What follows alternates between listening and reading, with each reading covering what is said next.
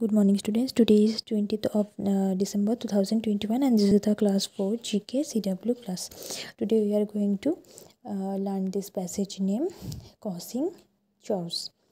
এখানটায় বলেছে এখানে পিকচার দেখে তোমাদের প্রাকৃতিক কিছু দুর্যোগ তার সাথে কার কাকে কোনটা বলা হয় সেটা লিখতে হবে আচ্ছা প্রথমটা হচ্ছে কি থান্ডার স্টোম মানে বিদ্যুৎ এটা হবে নাম্বার ফোরের সাথে ভলক্যানো এটা হবে নাম্বার থ্রি এর সাথে।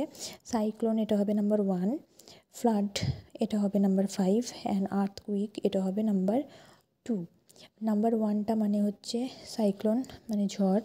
নাম্বার টু ওটা হচ্ছে আর্থ আর্থকুইক ভূমিকম্প নাম্বার থ্রি ভলক্যানো আগ্নেয় আগ্নেয়গিরি।